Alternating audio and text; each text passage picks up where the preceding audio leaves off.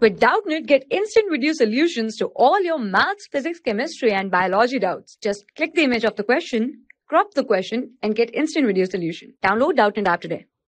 Hello, in this question we have given that a train starting from rest attains a velocity of 72 km per hour in 5 minutes assuming that the acceleration is uniform.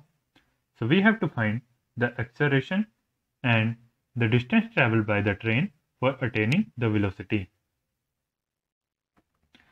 So we have given a train which is starting from the rest so its initial velocity will be equal to 0 and its final velocity will be equal to 72 km per hour and the time period given to us which is 5 minutes.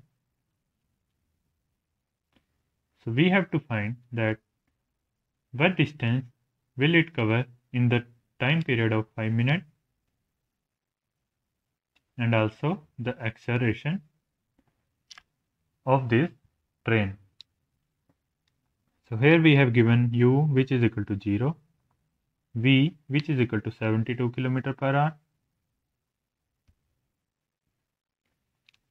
So V 72 km per hour. So we have to convert it into meter per second, which is equal to 72 into 1000 over 3600. So which will be equal to 20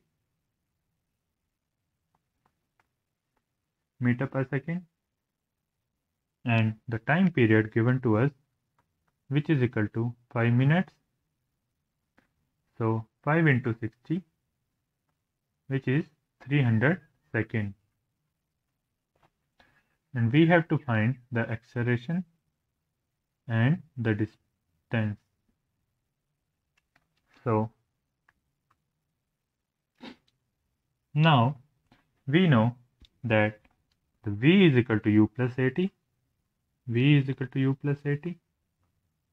So from here we can get the acceleration so our acceleration will be equal to v minus u over t.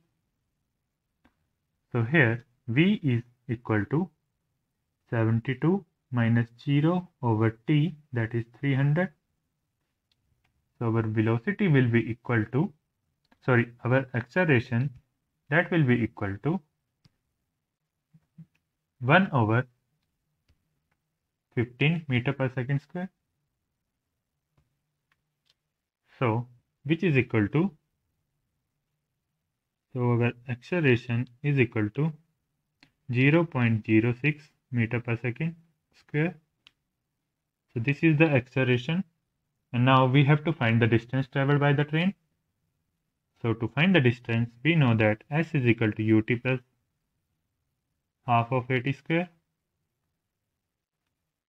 So ut will be equal to 0 because here u is equal to 0 plus half of at that is a here is equal to 0 0.06 into t square that is 300 into 300 so from here so it will be equal to 3000 meter which is equal to 3 kilometer.